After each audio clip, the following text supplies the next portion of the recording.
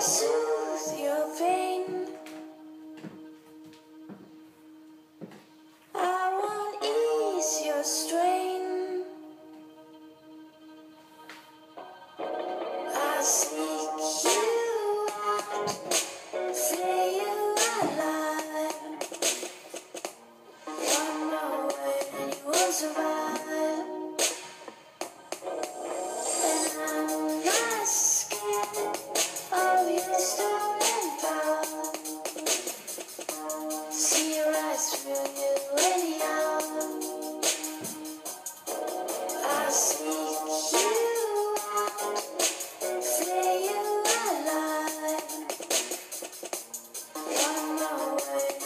survive.